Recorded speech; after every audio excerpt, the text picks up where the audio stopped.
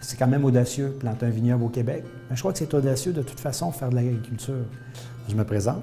Mon nom, c'est Daniel Lalande, donc du vignoble Rivière-du-Chêne à Saint-Eustache.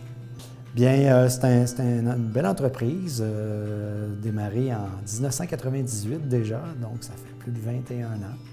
Et euh, donc le vignoble, alors que je l'ai commencé seul, petit domaine, avec quand même un 9 hectares de disponible. J'ai planté ça d'un coup, j'ai commencé ça seul, puis là aujourd'hui, bien, ça a évolué beaucoup. On a passé à 37 hectares avec tous les deux sites, 52 employés une grande production de plus de 300 000 bouteilles. Euh, alors, euh, le petit domaine est devenu grand. Je vous dirais qu'on doit accueillir près de 20 000 clients par année. On, a accès à une clientèle de visiteurs pour des événements, puis à une clientèle de passage qui, au gré des saisons, s'arrête. Un sentiment que je voulais mettre de l'avant, comment que le client peut se sentir bien avant de trouver ça beau. Puis pour moi, c'était le côté chaleur que j'ai voulu créer ici, puis à la fois l'amener sur une approche professionnelle.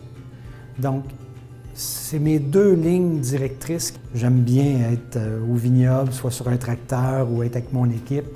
Euh, le contact client m'a permis justement d'avoir beaucoup d'écoute puis de voir ce qu'il aime. Les commentaires avec le client nous ont permis d'améliorer notre recette.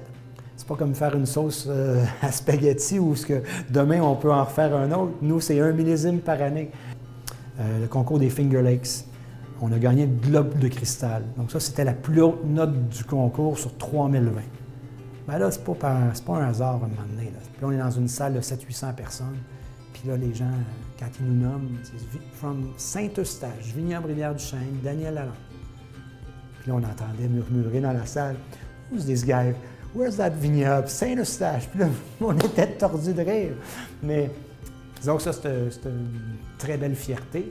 Euh, un de mes voeux serait que tout le monde de Saint-Eustache vienne faire son tour dans les 5-10 prochaines années ici et qu'ils mettent dans leur panier d'épicerie à l'occasion, quand ils ont l'occasion, qu'ils se présentent d'acheter une bouteille de vin, dire Ah, tiens, pourquoi pas?